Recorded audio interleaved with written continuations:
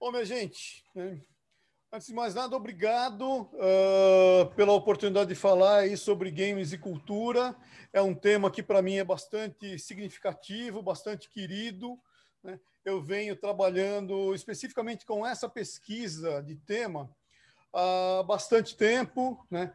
Uh, isso se iniciou aí há mais de 10 anos a partir de uma do envolvimento com o professor Roger Tavares. Roger Tavares ele é professor doutor na área de mídias digitais de um modo geral na Universidade Federal do Rio Grande do Norte e uh, ele iniciou uh, lá em 2004, 2005 o que ele chamava de game cultura, ou seja, né, a partir de uma ideia dos game studies que, que são uma, as avaliações, as análises internacionais que a gente tem falando aí sobre o jogo como fenômeno de expressão cultural e artística, o jogo como uh, fenômeno na sociedade, ele puxou essa ideia de o game cultura. Né? Então a gente tem aí uh, um panorama do que é essa cultura de jogos, né? E a minha ideia aqui é instigá-los né, a possibilidade de considerar o, os jogos como um caminho para a gente poder uh, trabalhar efetivamente em relação à cultura brasileira. A cultura brasileira é muito rica na sua plenitude, a gente sabe, né? Uh, eu estou brincando aí nessa primeira imagem com algumas figuras bastante ilustres, né? A gente tem aí o Bapuru, a gente tem aí o Chacrinha, que é por excelência a cultura popular, embora obviamente seja só uma brincadeira, a gente tem aí, entre outros aspectos da cultura popular. Uh, o Arraial, uh, a gente tem o Bumba Meu Boi, a gente tem o funk carioca, embora alguns como eu não sejam fãs do estilo, a gente tem uh, o rodeio o rodeio de Barretos, né? a gente tem a Oktoberfest, são todas expressões que são nacionais, que vêm aqui no país né? Uh, e que exploram parte dessa cultura que, que amealha todo o país, ou seja, de norte a sul a gente tem um monte de opções, um monte de possibilidades que trabalham com aspectos culturais brasileiros, né? E aí o game não está participando disso. A ideia nesse bate-papo é um pouco dessa provocação. Então vamos lá um pouco. Antes que a gente entre nisso, só para dar um pouco do contexto, né? Uh, eu já fui aqui gentilmente apresentado pelo Daniel Goulart, né? Mas enfim, eu sou pesquisador na área, né? Tenho uma formação em mídias interativas, uma educação anterior aí na formação na área de artes cênicas e educação artística. Sou agente cultural no Sesc São Paulo trabalha em vários veículos de cultura pop, de cultura nerd, de cultura de jogos, efetivamente falando.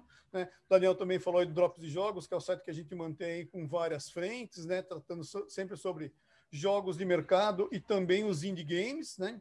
Fui professor de design digital, incluindo cultura de jogos, incluindo game design, né? E trabalhei com outras coisas também no mercado em outros momentos, né?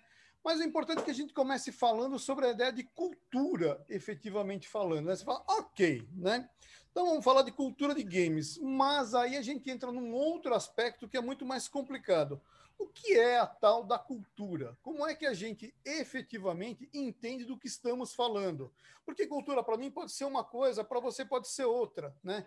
Eu, por exemplo, posso adorar Beethoven e para mim cultura não é nada além de Beethoven, e isso pode ser um problema, né? Então a gente vai partir de um princípio básico. Eu peguei o dicionário SESC, o SESC todos devem conhecer, é o Serviço Social do Comércio. Né? Ele é bastante voltado para questões culturais e artísticas, especialmente aqui no Regional São Paulo. Né? E aí ele tem esse dicionário criado e lançado pelo selo SESC, né? falando efetivamente sobre o termo cultura, que vem lá do Coleri, né? que fala sobre essa questão ligada à colheita, né? Aí ela passa por um momento aí no século XVIII, uh, por um uso efetivo na língua alemã, em que você fala do Kultur, né? Uh, que é um refinamento espiritual e um enobrecimento do povo através do cultivo dos conhecimentos. E talvez o grande chamariz seja exatamente o cultivo dos conhecimentos, de que maneira a gente trabalha essas questões. Né? A gente vai ter mais para frente né, aí o Samuel Taylor Coleridge, né? E o Coleridge ele vai falar exatamente sobre a ideia da cultura, né? Como um conceito que envolve o quê? Nossos comportamentos, nossos valores, crenças e regras morais. No Brasil, particularmente, isso é muito importante. A gente tem aí um modelo moral mais do que ético, né? Que é um valor fundante aqui para a nossa população. Né? É, um, é um período que a gente passa, a gente tem que passar por essa etapa né? Uh, em que os valores têm que ser efetivamente mais éticos do que morais, né? porque a moral, a minha pode ser uma, a sua pode ser outra. A ética, a gente pressupõe uma ideia, né, a partir do pensamento grego, da filosofia, né, de que, assim, eu não faria para você algo que eu não gostaria que você fizesse comigo, né? Mas o Coleridge, ele faz o quê, né? O, o, o, o desculpa, o Burnett Taylor, né? Uh, ele faz o quê? Ele amalgama um pouco desses conceitos, né? E ele pensa na identidade como uma cultura de um determinado grupo. E aí tem uma chave boa para a gente trabalhar esses conceitos, minha gente, né? Eu vou tentar ser bem breve nesse princípio, para não ficar aí no, no chatonildo da coisa, né? Mas uh, a gente vai ter, então, esses nichos culturais. Eu citei, por exemplo, aqui o funk carioca, que é uma expressão artística que eu entendo como arte, entendo como expressão cultural, mas eu não, não, não consumo essa arte, né? É uma arte que me soa desagradável aos ouvidos, né? Mas isso também aconteceu com o rock nos anos 50, isso também aconteceu com o livro, acreditem, né? Uh, no século XVII. Então a gente tem culturas que elas vão sendo adaptadas, elas vão sendo moldadas, elas vão sendo incorporadas a esse grande staff, esse grande panteão cultural que a gente tem. Né? Uh, e é muito importante a gente entender que, no fim das contas, não tem uma cultura que é melhor que a outra. O cara fala assim: ah, então, tem a alta cultura, que é a cultura de quem consome música clássica, de quem consome balé, né? E você tem uma cultura que é a cultura popular, né? Que é quem gosta do teatro de rua, que é quem gosta do, do break, né? Que é quem gosta de coisas que você consome entre seus pares, né? Inclusive, a cultura televisiva no Brasil, que também é muito forte, das novelas, dos programas de humor. Né? Isso também é cultura. A gente vai fazer, ah, mas isso aí é meio capenga, assim, há quem torça o nariz. Pode acontecer, mas isso não destitui essas, esses modelos, né, esses conteúdos da sua qualidade cultural também. Muito bem, e aí chegamos então na ideia da cultura brasileira. Cultura brasileira, como eu já disse, ela tem várias possibilidades, ela tem várias expressões, né? E aí o Fernando Azevedo ele fez lá em 1958 esse livro que trata exatamente do tema, né? E aí ele puxa para a gente uma ideia de que nós temos aí uma certa coletividade, né? A gente tem regiões que são diferenciadas, né? Mas a gente tem aí uma unidade fundamental que exerce aí a formação do povo. Né? O Darcy Ribeiro também vai falar de coisa semelhante, né? ele vai falar dessa coisa de que o brasileiro, embora a gente tenha essa, essa malha cultural tão diversa do que acontece no norte, no nordeste, no sul, no sudeste, na região central, né? são, são expressões muito únicas. Né? Então, não, não tem nada a ver uh, a expressão cultural de, uh, de vertente alemã que a gente tem no sul com, por exemplo, o Bumba Bem Boi que a gente vai ver no norte. Né? São coisas que parecem dois países diferentes. Né? Ainda assim, o Darcy Ribeiro ele opta por um modelo em que ele acredita que, no fim das contas, né, o brasileiro ele consegue ser, uh, encontrar um meio termo sem que haja conflito entre essas culturas. Não é o que a gente tem visto hoje, mas isso também é outro assunto que a gente não vai entrar. Né? Mas o que a gente percebe é que a gente tem tido conflitos culturais né, muito significativos. O brasileiro ele tem passado por um momento de questionamento em relação a, a muitos aspectos da nossa cultura e, e, tem invalidado a cultura do vizinho, né, entendendo que a sua é melhor do que a dele. Né? Então, a gente vai pegar, por exemplo, modelos culturais ligados à, à religiosidade, né, que se conflitam entre si, né? A religiosidade afro, ela, ela se indispõe à religiosidade uh, judaico-cristã, né? A, a, religiosidade judaico-cristã, que é de, de cunho mais fundamentalista, vai se indispor contra as duas e por aí adiante. Né? Mas, enfim, né? independente desse momento que a gente vive, o fato é que sim, a gente tem um panorama cultural nacional que estabelece mais ou menos a nossa identidade como brasileiros. É muito importante a gente pensar nesse assunto, porque, no fim das contas, quando a gente falar do tal do videogame, que nem entrou na história ainda, né, a gente vai perceber o quanto é importante que, de fato, ele dialogue com essas expressões. Ok. Né? Aí a gente tem lá, por exemplo, né, O Roger Tavares, já citado aqui, né, que justamente foi o mentor dessa ideia da tal da game cultura no Brasil, né, em que ele fala efetivamente sobre o que é cultura. Né? Então ele vai e sintetiza num artigo para o UOL lá em 2013, né, ele sintetiza a ideia de que assim, efetivamente a cultura é o quê? É um substrato de tudo aquilo que a gente vive, né? É alguma coisa que fica a partir do tudo que vivemos, né? E que muda alguma coisa em mim e você, em nós enquanto povo, né? Aí a gente vai entrar efetivamente na cultura brasileira. Né? Eu poderia entrar aqui nas questões que envolvem as opiniões do ex-ministro da Cultura, Gilberto Gil, que tem colocações muito ponderadas, muito importantes a respeito disso. Eu podia falar também sobre outros aspectos. Né? A própria Marta Suplicy, que foi de uma infelicidade crônica em 2013, quando disse que o videogame não é cultura, ou seja, para ela, a cultura dela é mais importante do que a cultura do videogame. Não vou entrar nisso agora, né? Mas a gente vai falar um pouco sobre a cultura brasileira e os jogos digitais. Né? Então eu vou pegar aqui, por exemplo, né, o Renato De Giovanni, que faz videogame no Brasil desde os anos 80. Ele começou em 81, em 83 ele lançou o Aventuras na Selva, que depois virou Amazônia. A gente está vendo aí uma placa de impressão do, do Amazônia, né? E aí ele tem uma coisa muito bacana que ele fala assim, bicho, né?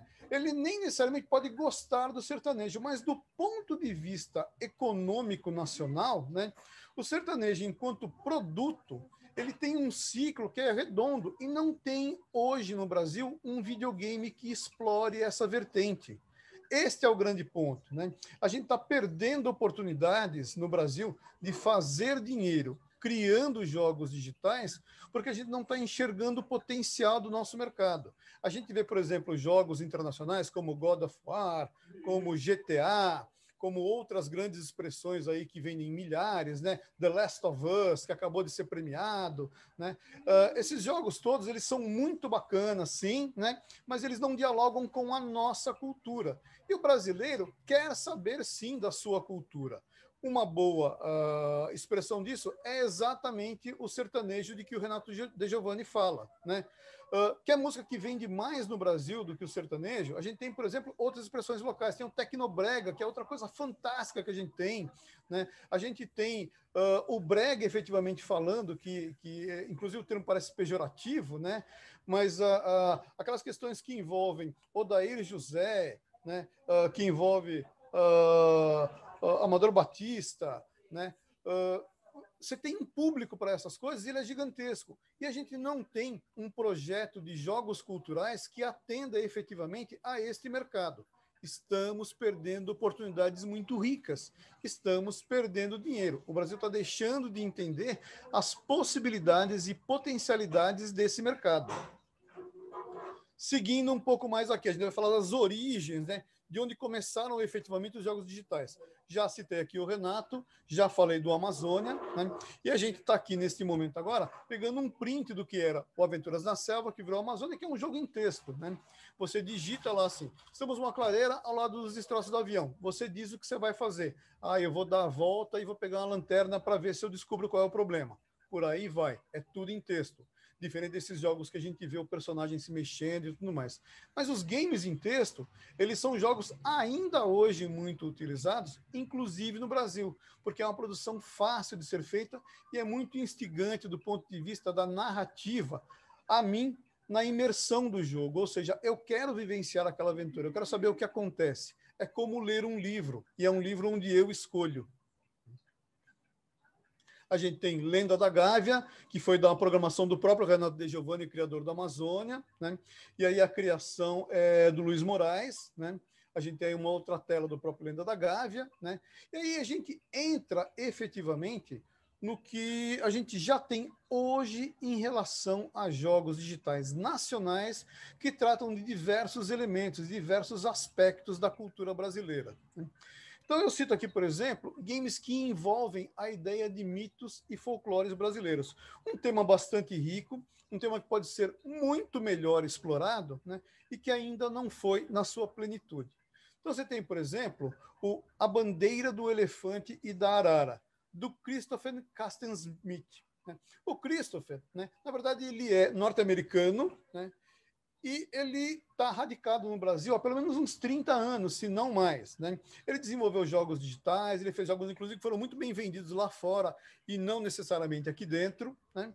E aí ele fez esse RPG. Para quem não sabe, RPG é um, é um role-playing game, né? é um jogo de interpretação de papéis em que você vivencia parte da nossa cultura na época da colonização. Né? Então ele brinca com mitos como Boitatá, ele brinca com mitos como Curupira, como Irapuru, como Ayara, né? e as pessoas, sobretudo jovens que participam desse universo, podem imergir nesse universo e conhecer um pouco mais sobre a nossa cultura, né? sobre tudo aquilo que vem sendo feito ao longo desses 500 e tantos anos de Brasil.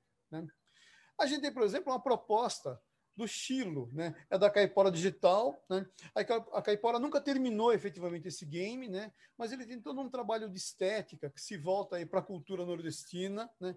Que é muito rico, né? E que é um trabalho que merecia uh, ser finalizado, né? As pessoas cobram até hoje, né? Desse estúdio que ele finalize esse projeto, né? Mas ele não terminou. A gente tem lá nos primórdios, em 2004, quando tudo era mato ainda, né? A gente tem Erinha, do estúdio Ignis. O Ignis está até hoje uh, no mercado, continua fazendo games aí para para empresas, né? Esse é um, é um perfil do que eles têm realizado, né? E aí eles fizeram exatamente um, um MMORPG, ou seja, um jogo de interpretação de papéis em que eu tenho um grupo de pessoas jogando online. World of Warcraft, para quem conhece um pouco de jogos, é mais ou menos isso. O GTA ele também permite que várias pessoas joguem online, né? O MMO tem mais ou menos esse perfil, né? E aí ele criou esse jogo em que você tinha toda uma vasta cultura brasileira de mitos e folclores nacionais que estavam disponíveis nesses jogos, né? Uh, uh, nesse universo. Esse jogo acabou durando muito pouco, né? Na época era muito difícil para uma equipe brasileira manter isso no ar. Você paga para manter um jogo online, né? E paga caro, né? Então a coisa era muito difícil de fato, né? E o Erinha acabou, mas está aí o registro, né? E a gente tem, por exemplo, o Estúdio Unique, mais recentemente agora, em 2018, que criou o Guerreiros Folclóricos, né? Que é um game do tipo Street Fighter, que é um jogo que todo mundo conhece, né? Um jogo bem famoso, né? Em que você pode combater outros personagens, ou seja, outras entidades do folclore brasileiro, né? Num game de combate é, corpo a corpo. A gente também jogos que envolvem a questão indígena. E isso é muito importante porque esses jogos, mais do que mapear possibilidades, né? mais do que assim, esse jogo não quer vender horrores como Uh, uh, o God of War, Ragnarok, que trata da cultura, do, do, do, folclore celta. Né? Mas é importante como registro, por quê? Porque a questão indígena é uma questão que parece que fica embaixo do tapete da cultura brasileira. Ninguém fala muito do índio, né? Quando se fala, como a gente vê algumas autoridades da atualidade falando, né? É de forma vexatória, é em forma de chacota, né? O índio ele não tem expressão no Brasil, ele não tem voz no Congresso, né? A gente teve aí no passado, para quem conheceu um pouco da política anterior, tinha lá o cacique Juruna, que inclusive gravava as promessas do, do, do, dos políticos, né, para cobrar depois, né, ia com um gravadorzinho embaixo do braço, né, mas o índio não aparece na nossa cultura, lamentavelmente. Então, alguns jovens, sobretudo índios jovens, né, têm enveredado pelo universo digital e têm criado possibilidades aí, criando jogos que expressam a sua cultura. Então, a gente tem, por exemplo, Panami, né, que é dos Jogos Aurora, que é de 2017, né, que ele vai trabalhar exatamente com essa vertente. Né. A gente tem o Runi Queen. O Guilherme Menezes, ele é um, um, doutor, né, ele acabou de fazer a sua especialização na, na USP, né, e ele justamente trabalhou com a tribo do Caxinauá, né, e criou esse game em 2018, que trata o quê? De todos os ritos né, da tribo Runicuim. Né? Uh, e, e é muito importante, porque no trabalho exatamente com, com a tribo, né, ele conseguiu puxar a essência dessa cultura local. A gente estava falando que cultura é uma questão de nicho, né? Então, este nicho cultural, que é a tribo Runicuim, que é uma coisa mais específica, que poucas pessoas conhecem, né?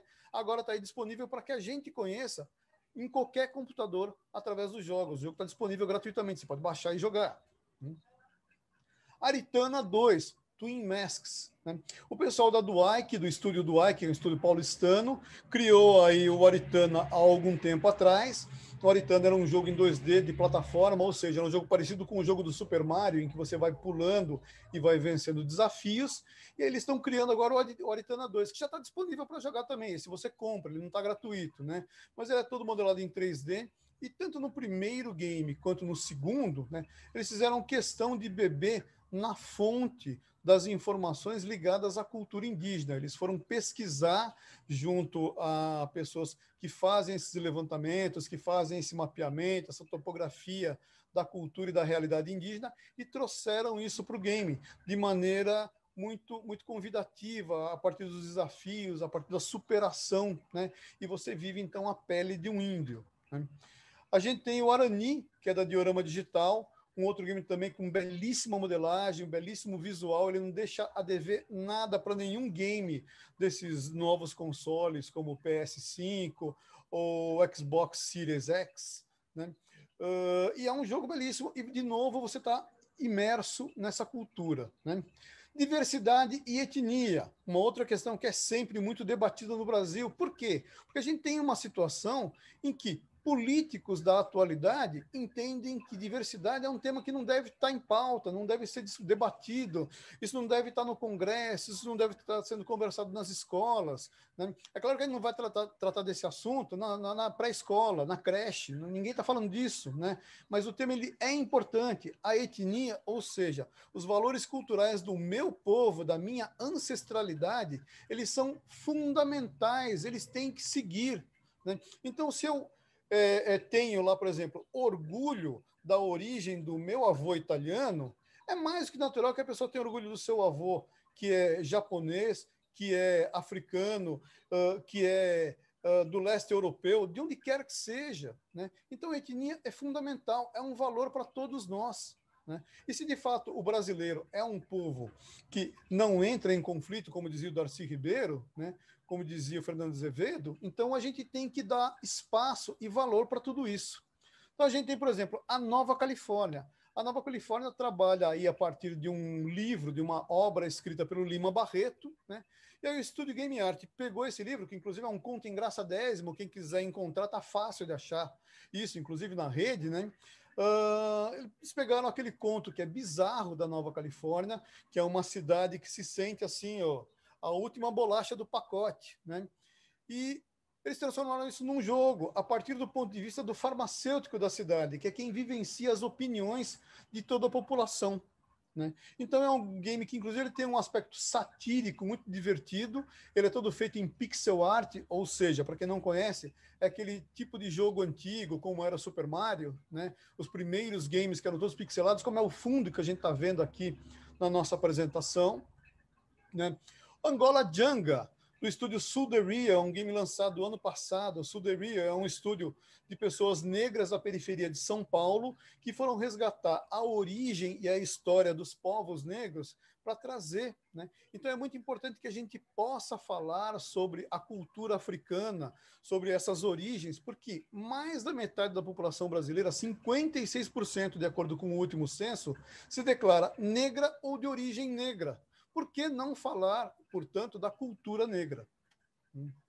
Dandara também. Dandara, para quem não sabe, né, ela era companheira do Zumbi dos Palmares. Zumbi dos Palmares é uma personalidade que, inclusive, tem data em algumas localidades do país em que a gente trata do assunto, né, que é o Dia da Consciência Negra. Né? Esse dia foi, foi estabelecido no dia 20 de novembro, por quê? É a data que supostamente a gente tem uma homenagem ao Zumbi dos Palmares. E a Dandara era uma pessoa que, assim como o Zumbi, também lutava pela liberdade dos povos. Né? Para quem não conhece a história do Zumbi, ele, ele era um fugitivo que criou os quilombos. Né? E aí, quando outros negros fugiam.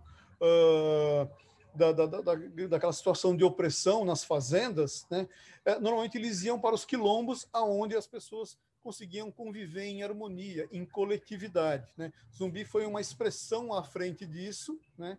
E aí a Dandara, como parceira dele, também vivenciou isso, e a gente acaba tendo o quê? Um game que trata da personalidade feminina na luta contra o problema da diversidade. Né? Porque a diversidade é vista por muitos no Brasil, lamentavelmente, como se fosse um aspecto menor. Né? E o game traz exatamente essa reflexão. O estúdio Long Hat uh, trouxe esse game em 2018 e a gente percebe, por exemplo, se vocês observarem, né, a gente tem ali a figura do Abaporu, justamente uh, numa interlocução com a personagem do game, né? E Abaporu é também uma figura uh, da cultura brasileira, né? A Tarsila do Amaral pintou este quadro na Revolução de 22, né, na Revolução Cultural e Artística de 22, que teve sua expressão mais voltada aqui em São Paulo, né, e é uma das grandes obras, ou seja, a gente tem também a opção de falar sobre a vasta cultura de toda a arte brasileira através dos games. Né. E a gente tem Florescer, Florescer é da Mariana Souto, né? é uma pessoa também aqui de São Paulo. Ela criou esse game em 2019 e o nome do jogo fala exatamente da descoberta de quando floresce na pessoa né? essa identidade de gênero, né? que não é necessariamente ligada a padrões convencionais. A gente tem hoje o quê? O gênero masculino por excelência, o gênero feminino por excelência. E a gente tem a diversidade, a possibilidade das pessoas descobrirem que a sua sexualidade vai muito além desses padrões convencionados ao longo de 5 mil anos de humanidade. Ou seja, o que eu faço do meu corpo, o que eu faço da minha vida, não é problema seu, né? não é da sua conta. Né? E o florescer trata exatamente desse problema, quando você se depara né, com uma situação em que as pessoas julgam, porque, ah, mas o cidadão está beijando outro cidadão, né? a menina está saindo com a outra menina, né? como se isso fosse é, mudar, assim, é, eu tenho família, eu tenho filhos, né? E isso vai mudar a minha família, isso vai trazer maus exemplos. É uma bobagem sem igual, gente. Desculpa se eu estou falando óbvio, né? Mas é, é lamentável que a gente tenha tantas mentes arcaicas pensando que uh, o mau exemplo vai corromper as pessoas. Ao contrário, o ideal é que o bom exemplo corrompesse as pessoas positivamente. Né? Mas o fato de eu ser ético, de eu pagar o meu imposto de renda, o fato de eu trabalhar com aspectos que parecem positivos, de respeitar o meu vizinho, né? nem sempre é copiado pelos demais. Né? Então, se os bons exemplos acabam não sendo copiados, eles não corrompem positivamente os outros, porque outras coisas que eu considero maus exemplos né, seriam esse problema. Né? Lamentavelmente, é o que a gente vê na sociedade de hoje. Eu sou muito crítico desse modelo, como vocês podem perceber, e estou aberto depois à nossa etapa de debates para discutir esse assunto, se for o caso. Né? Mas o florescer, voltando ao game da Mariana Souto, trata exatamente da descoberta da identidade do autoflorescimento para uma vida que satisfaz a mim e que não precisa satisfazer a mais ninguém. Política que está na boca do povo o tempo todo. As pessoas se dividem entre mortadelas e coxinhas, se dividem entre esquerdopatas e minions, se dividem entre essa miríade de coisas que são sempre. É, é, é elas são sempre é, uh, desculpa o termo, é, é, é, sempre, eu quero sempre diminuir o contrário, né? Uh, na verdade, né, uh, existe uma palavra chamada caos, que significa mudança, que significa transformação. O caos significa sair do padrão e mudar. E a vida toda, gente, é baseada em caos. E peraí que o meu, meu computador está acabando, está acabando o, a bateria, gente. Só um segundo, desculpem.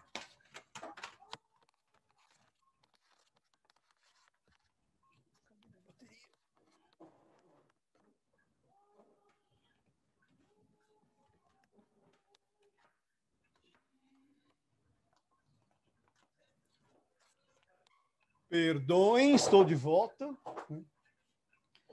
E, enfim, retomando aqui, política é um assunto muito importante. Você vai dizer, ah, mas não gosto de política, não acho que política é importante.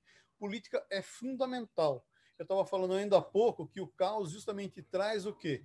Uh, traz mudanças o tempo todo pelo encontro das diferenças. E a política é isso, é o debate. Né? Política, no seu aspecto mais positivo, e não na politicagem que a gente vê aí, governo após governo, né? A política ela traz aspectos positivos. Por quê? Quando eu trago as minhas demandas, os meus problemas, e você traz as possibilidades de solução e a gente encontra caminhos para trabalhar juntos, né?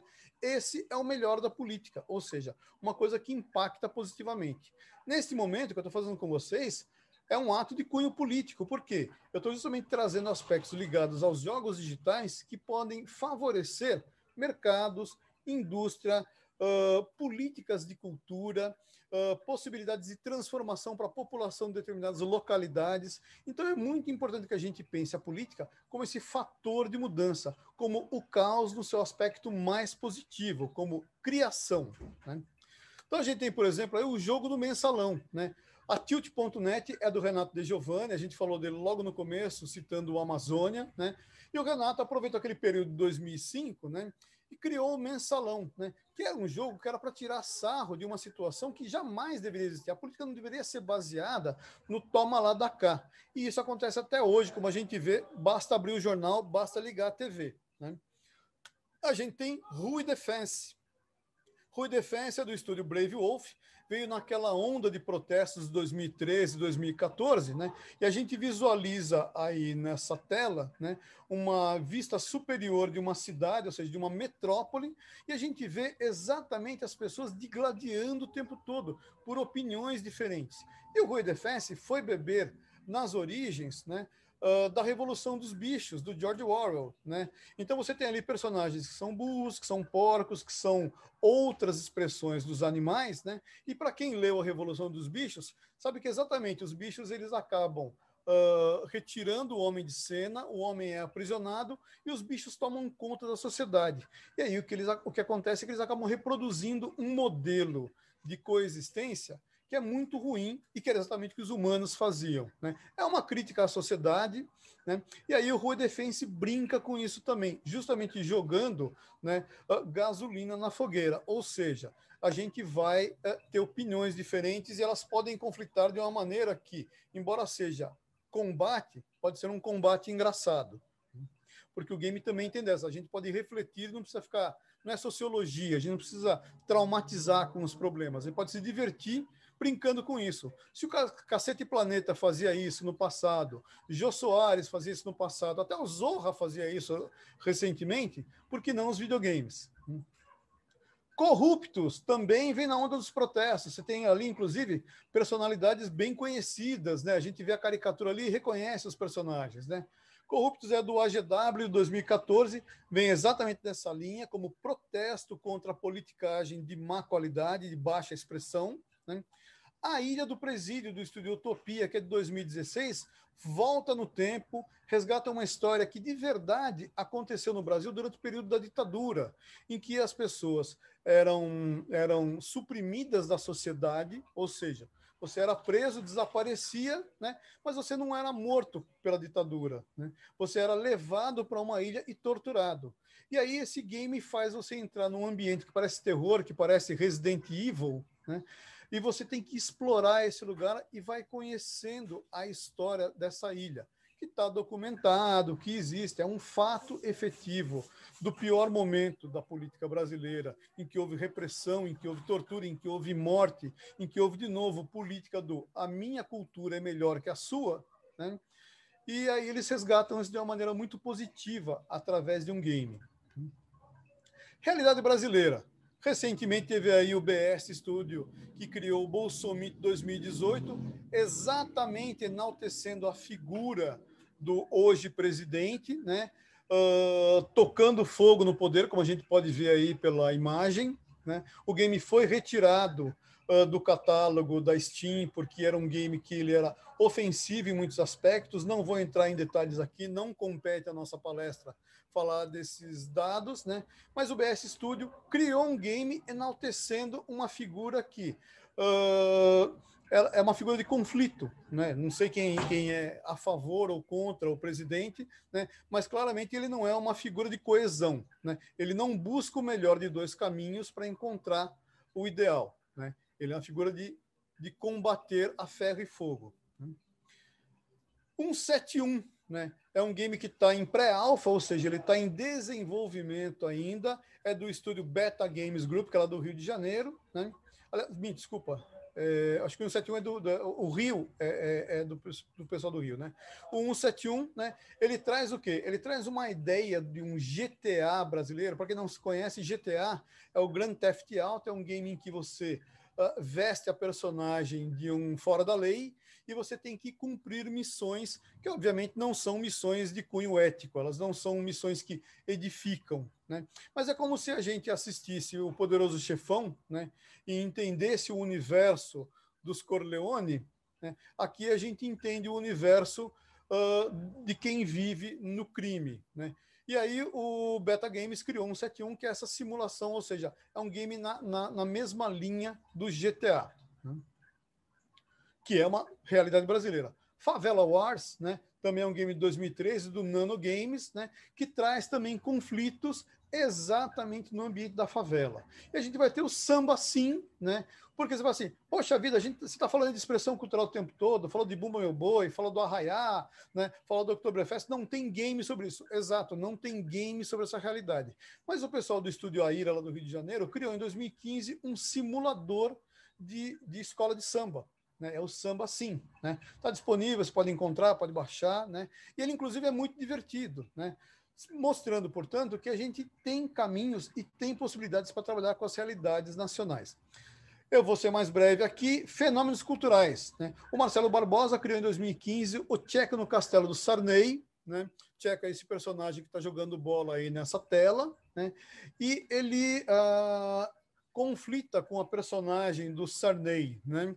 Uh, o FootSim, que é da Jinx Playware de 2003, gente, né? É um simulador de futebol, ou seja, você é um, é um cartola, né? E você tem que tratar disso. Esse jogo foi, ele foi uh, uma coqueluche, né? Ele, ele, ele joga, você jogava isso em todos os computadores, né? Nas lan houses, todo mundo tinha, né?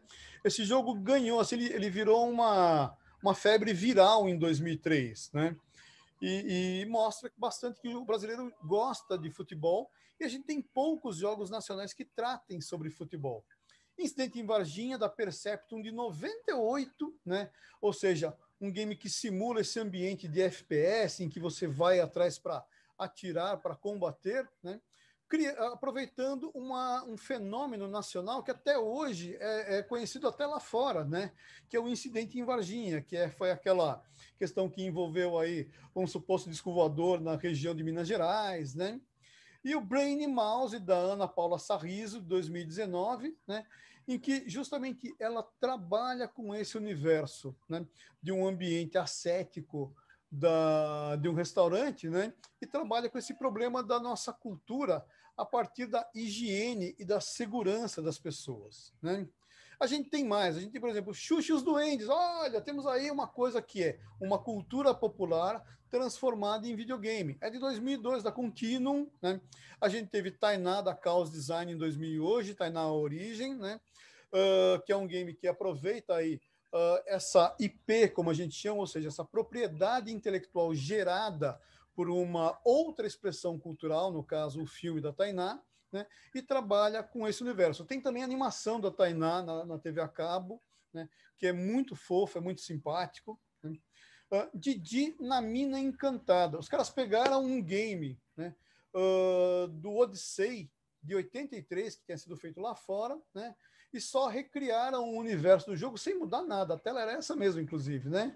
Recriaram colocando o personagem do Renato Aragão. E isso fez com que a, a, a, garotada quisesse jogar, né? E não menos importante, teve jogos da Mônica, inclusive para Odyssey, inclusive para Mega Drive no passado, né?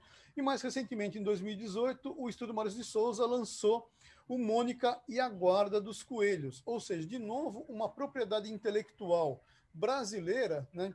Uh, foi trabalhada no universo dos games, mostrando o potencial disso. E são jogos que fizeram sucesso. A pergunta de um milhão de dólares, minha gente. Né? Opa, cadê a minha pergunta que não está aqui? Né? Por que, que, se a gente tem essa questão da cultura, né, e ela é tão importante, como eu estou citando, a cultura brasileira nos parece estar tá tão envolvida no nosso cotidiano o tempo todo, por que isso não vira videogame? Né? Porque videogame não é cultura no Brasil. Os jogos digitais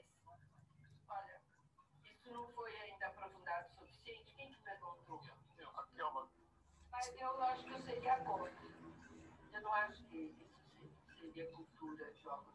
A Marta acha que jogos não são cultura. O jogo ser literatura, o jogo ser uma forma de arte, todos os artistas que estão envolvidos. Isso é portaria flexível. Na hora que vocês conseguirem que alguma coisa possa ser considerada. Na hora que você conseguir alguma coisa que possa ser considerada cultura. E como a gente pode apresentar isso? Qual que é o caminho? Mistério. Vamos passar isso. Por favor, os próximos inscritos, só anunciando aqui também. Encaminhem, peraí, deixa eu continuar com ele. Encaminhem para o Ministério as sugestões que vocês estão fazendo. Eu tenho certeza que talvez vocês consigam fazer alguma coisa. Talvez vocês consigam. Por enquanto, o que nós temos acesso não credencia como cultura. O que temos acesso não credencia como cultura. Né? Tá difícil, né, gente? Porque no fim das contas, por que, que jogo não é cultura? Né? Por que, que é tão difícil a gente conseguir transformar os jogos em cultura. Eu queria deixar isso para vocês. Isso, essa imagem que vocês estão vendo é do Mineirinho, né? O, o Minery é um game nacional que, inclusive, foi, foi é, jogado lá fora por alguns influenciadores, né? Eu me abro agora para as questões, para a discussão, né? E eu queria aproveitar, não está aqui no nosso slide, né? Mas eu tive algumas ideias. Eu vou finalizar aqui Pode ser, o. Daniel? Pode. O que, é que você manda? Eu vou finalizar aqui e vou voltar para a minha imagem. Deixa eu só ver como é que eu retiro aqui a apresentação. Eu tiro aqui o. o... Não. Eu posso. Pronto, fiz aqui para você. Pronto, obrigado. Né? Estou aqui de volta, né? Não está nos nossos slides, né? Mas eu fiquei pensando antes da, desse nosso bate-papo, né? fiquei pensando em possibilidades de games que envolvam a ideia da cultura brasileira. Então, eu pensei, por exemplo, no Oktoberland, né? pegar a ideia do Oktoberfest e fazer uma coisa tipo um parque temático, né? em que a gente possa ir em todas as atrações do Oktoberfest para conhecer essa grande feira, para participar desse universo, né? Porque ninguém fez um Oktoberland ainda, eu não sei, né? Pensei também, por exemplo, num Arraial Theme Park, né? a gente pegar, por exemplo, esses simuladores de parques que a gente tem uh, da Microsoft, de, de outras empresas, né? Pegar, por exemplo, The Sims, né? Que também trabalha com, com esses cotidianos, né? E fazer uma coisa em que eu conheço um pouco das expressões locais da festa junina, que é uma das coisas talvez mais uh, uh, famosas enquanto expressão cultural brasileira, lá fora, inclusive, de forma universal, né? Eu pensei também no Sampatur, né? Paulista adora exibir São Paulo, adora mostrar o MASP, adora mostrar esse monte de asfalto que a gente tem aqui. Né? Por que, que não tem um game em que eu possa vivenciar essas praças todas, conhecer esse universo, né? conhecer o Play Center, que já não existe mais, que era um parque super bacana, né? Uh, e, e, em todas essas localidades, o Ibirapuera, né? não tem um Sampatur. Né? Tem também, por exemplo, pensei no Epic Lampa, né? Pensei num game falando do lampião, dessa cultura do cangaceiro, né? No, no, como um God of War. E se o, se, o, se o Kratos pode ser um herói, né? Mesmo chacinando ao longo do caminho, né? Por que, que o Lampião também não pode ter a sua guerra, né? É, conhecida né, e jogada, né? Lords of Rodeo, né? Ou seja, a gente pega lá o, o, o Festival de Barretos, né? E transformar num game de rodeio, né? Katinga Fighters, né? Acre Legends, pegar, por exemplo, aquela cultura lá do garoto do Acre, né? Que foi meme, né? E transformar isso em jogo. Então, isso, gente, foi assim, elocubração, tá? Eu estava viajando e pensando nessas coisas. Então, eu acho que o universo dos jogos é tão rico nas suas possibilidades, né?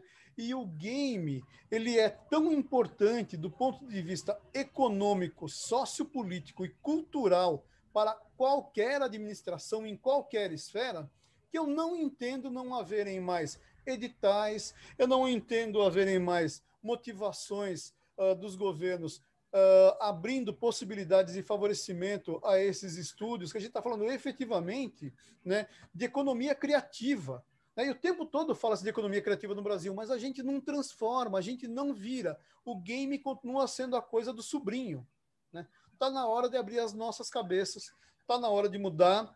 Queria agradecer mais uma vez, peço desculpas se foi longo, estou aberto às perguntas. Valeu, Cal. Tranquilo. Olha só, a sua provocação já gerou alguns jogos aqui na timeline. Já, o pessoal aqui, é, o pessoal tá tudo aqui. Por, é, por que não colocar um jogo com o cenário do Beto Carreiro? É, incrível, Porque o Beto incrível, Carreiro não fez isso ainda, né? incrível a diversidade dos jogos aqui. É, adorar a ideia da festa junina, seria muito legal. Age of Empires Brasil, um, um RTS da colonização, falando sobre Exato. as capitanias hereditárias, legal também. Esse aqui fui eu que falei, porque eu não vou detalhar muito, mas é, no domingo é, de manhã, acho que é de manhã, não, é à tarde, na, na, na, na plenária que a gente vai fazer de políticas públicas, a gente vai mostrar o, o nosso circuito no Museu de Educação, que é o Ludorama. E o trabalho final de um ciclo que a gente teve foi a criação de jogos baseados em cultura brasileira. E um dos alunos, ele criou um jogo chamado Bode Oiô para Presidente, que é uma figura aqui o bode, né, aqui de Fortaleza muito conhecido chamado Bode Oiô, e ele entrava para justamente fazer uma sátira e, as, e, ele não queria ser presidente, mas as, a, todo mundo queria que ele fosse presidente porque ele era o único incorruptível da, da, de todo o Brasil e tal, e ele fez essa, essa ideia muito bacana de game. Ah, e tem várias outras leg ideias legais, dá para fazer sim, é muito divertido. Aí, então, FPS de cangaceiros e tal, tal, tal, e etc. Né? É, não, eu, eu, acho que você mais provocou insights, Cal, do que gera, gera mais dúvidas. Eu acho que isso muito Uh, muito primoroso até do que gerar as dúvidas, mas você gerou excelentes insights aqui. A galera anotou muito esses nomes desses jogos. Você fez aí uma Oi, Daniel. né? Oi. É o João Guilherme. Oi, João Guilherme. Eu, eu poderia fazer um comentário a respeito da apresentação do Cal ou não? Pode. Se não puder, tranquilo. Pode ficar à vontade. Aí você, a, só, só pede para a galera que for pedir a palavra colocar no chat, tá bom? Ah, Mas tá, pode ir, João. Tá. É porque eu estou no meu celular e está mais complicado para mim fazer Pois isso. não, por favor. É, eu queria agradecer ao Cal pela essa excelente exposição. Eu trabalho como conselheiro de cultura é, no estado de Ceará e do município e eu já tinha estudado algumas coisas. Agora, eu não, eu, eu nunca tive a percepção é, de toda essa riqueza né, que, você, que você apresentou agora, e, e para mim foi algo muito importante eu estar aqui ouvindo, até para de, defender em janeiro a entrada da linguagem de jogos em, é, na Secretaria de Cultura de Fortaleza. Porque na Secretaria de Cultura. Pois é, amigo, porque na Secretaria de Cultura do Estado já está já tá resolvido. Agora você falou algo que me chamou um pouco a atenção, né, e eu acredito que eu tenho uma resposta, que foi o seguinte: por que, que não são criados mais editais? Por que, que os jogos não são vistos, não é visto como uma verdadeira expressão cultural é possível de ser apoiada, né? Vamos supor, uma das formas seria o edital. Eu acredito, Cal, que isso aí acontece pela falta de atitude dos agentes de cultura de jogos junto ao poder público. Eu eu eu tô agora como como Conselho de Cultura do Estado e do município e constantemente a minha missão é provocar os desenvolvedores de jogos, os profissionais das instituições de ensino ligados a jogos, os agentes de cultura, para poderem participar mais da vida política, né? E a minha insistência, como por exemplo com parlamentares como o vereador Evaldo Lima, ela é, é eu, eu, junto do meu cargo, né, de conselheiro e, e o apoio político dele, nós conseguimos na Lei Aldir Blanc ter escrito expressamente na Secretaria de Cultura do, do Estado e na Secretaria de Cultura do município a linguagem de jogos. E, e, eu acredito também que nós, enquanto, enquanto produtores de cultura de jogos, a gente tem que se apoderar um pouco mais das leis. O que são as leis? Como é que a gente pode usá-las a favor dessa diversidade enorme de possibilidades de impacto cultural, social e econômico que os jogos ofertam, sabe?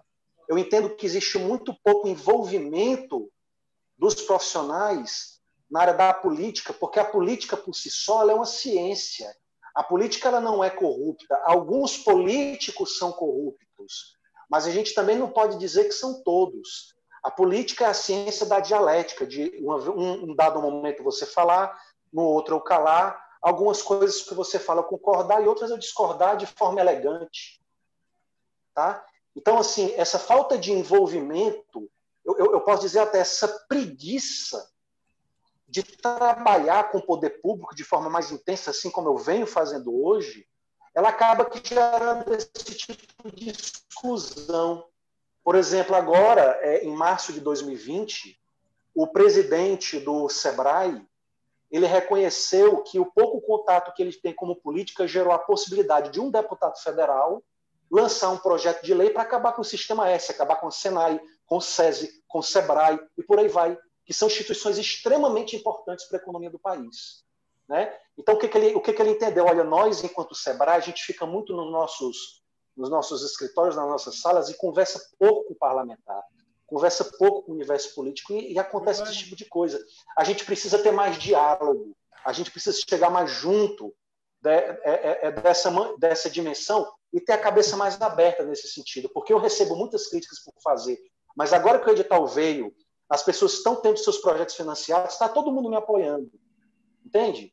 É, é isso, essa provocação que eu queria gerar, Cal, e agradecer. Muito obrigado pela sua palestra, foi sensacional. Um prazer. Eu posso, posso fazer um comentário sobre as suas colocações, João? Fica a favor, amigo, faço questão. É, eu, eu, posso dizer, né, com base no que eu tenho visto até aqui, eu venho acompanhando a questão da cultura uh, nos games e, sobretudo, a questão que envolve o, o parecer de, de, de, pessoas ligadas à questão política. Né? Quando a gente fala de cultura e games, né? Eu posso dizer que você está absolutamente na contramão da maioria do, das pessoas envolvidas com política, porque elas não têm esse olhar favorável que você apresentou. Né? Você está, inclusive, falando assim que, fruto desse seu envolvimento, você tem estudado mais, vocês estão conseguindo agora aí levantar bandeiras. Né? Isso não é uh, um padrão absolutamente. Né? Ao contrário, sempre que a gente fala sobre game, né, os caras vão dizer, ah, não, é importante, é, é. Mas, na verdade, você sabe que por dentro, boa parte do que, o, do que a pessoa sente né, é aquilo que a Marta expressou. Né?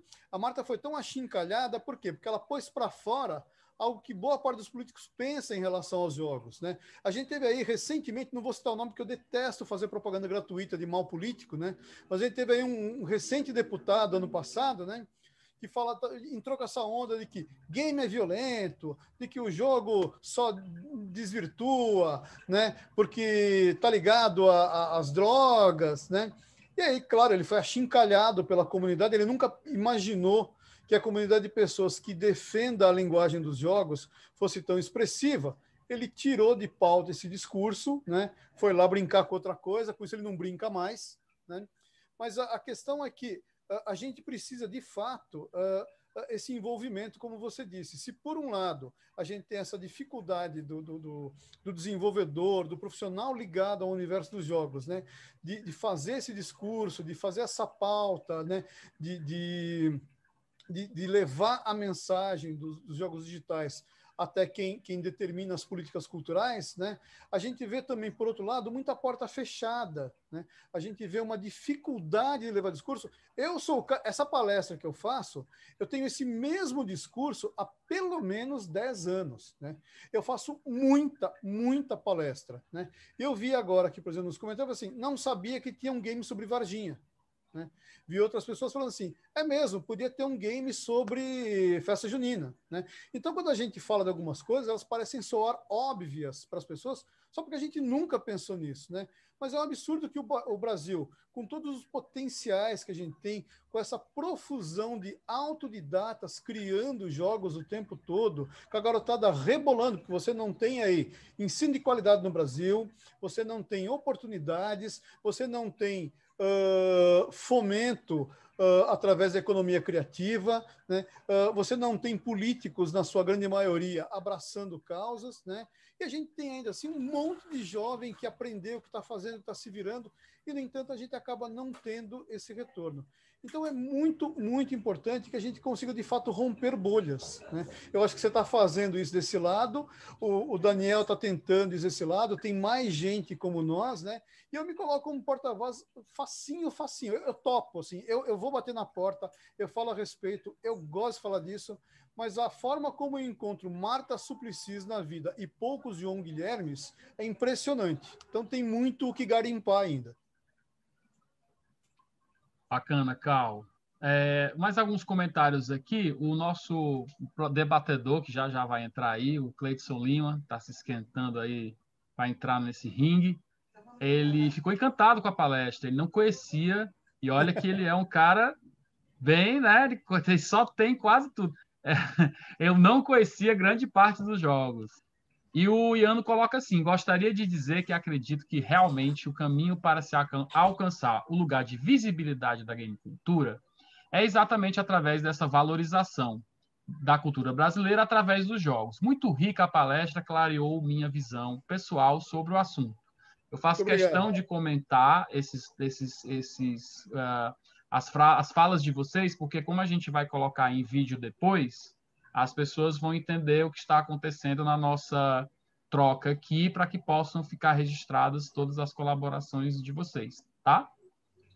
Ah, vamos lá. Alguém quer fazer mais alguma pergunta, comentário a respeito disso?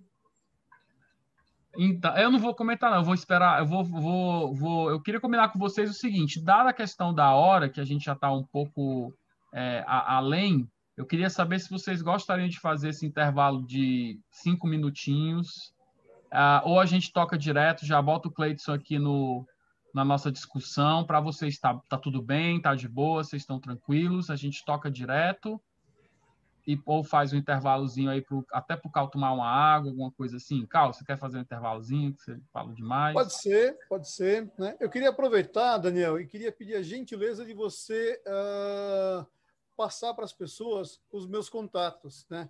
Através de Facebook, através de Twitter, né? Eu me coloco à disposição, gente, porque de fato, assim, a gente discute pouco o assunto, né? E depois que a gente dá um disparador como esse, né? Surgem questões que valem a pena ser, ser debatidas.